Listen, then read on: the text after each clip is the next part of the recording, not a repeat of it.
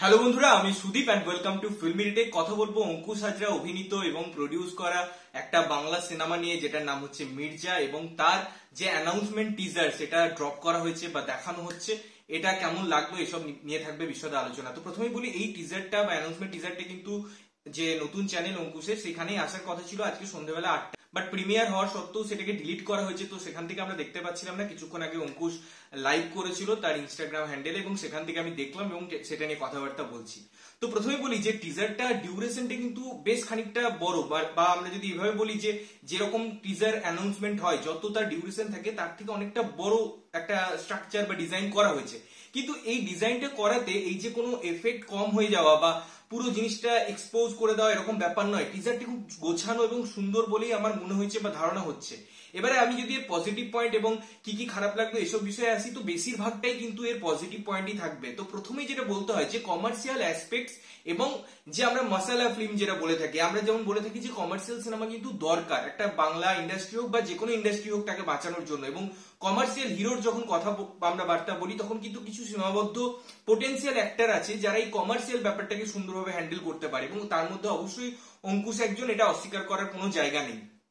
এবারে যখন অঙ্কুশ ডিসাইড করল এরকম একটা সিনেমা আসবে এবং তার নিজের প্রোডাকশন থেকে আনছে, বেশ খানিকটা খরচা করে একটা সিনেমা তৈরি হচ্ছে, তার অ্যাকশন হোক, তার যে ক্যামেরা ওয়ার্ক হোক, সেগুলো তো একটা ভালো হবে এটা আমরা আশাই করতে পারি। এবং আমি যখন এই টিজারটা দেখা শুরু করলাম, সেই সমস্ত প্যারামিটার থেকে কিন্তু এটা একটা দারুণ কাজ বলে আমি বিশ্বাস করি এবং আমার এটা মনে হয়েছে। তার কারণ হচ্ছে, এটা শুধুমাত্র একটা কমার্শিয়াল অ্যাসপেক্টস বা অ্যাঙ্গেলই শুধু দেওয়া হয়নি। এর যে ক্যামেরা ওয়ার্কটা সেটা দারুণ। যেভাবে লাইটিং করা হয়েছে, যেগুলো ফ্রেম দেখানো হয়েছে, সেগুলো অপূর্ব। একটা চিল উপর থেকে উড়ে যায়।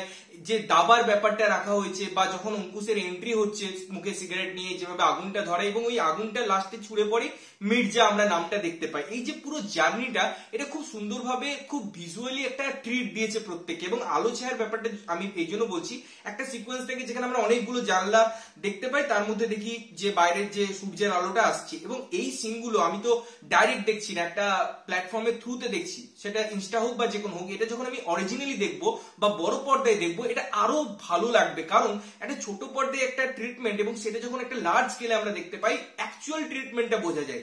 এবং আমি বলব, এই ক্যামেরা ওয়ার্ক কিন্তু দারুণ হয়েছে। তার ছোট ছোট মুভমেন্ট হোক, তার ছোট ছোট মুভমেন্ট হোক ক্যামেরার যেভাবে প্যান করা হচ্ছে একটা একটা সাবজেক্টকে মেন ফোকাস করে তার সারাউন্ডিং এ যেভাবে ক্যামেরাগুলোকে ঘোরানো হচ্ছে, চরিত্রগুলোকে আনার জন্য বা স্ট্রাকচারগুলো বোঝানোর জন্য, সেগুলো কিন্তু দারুণ।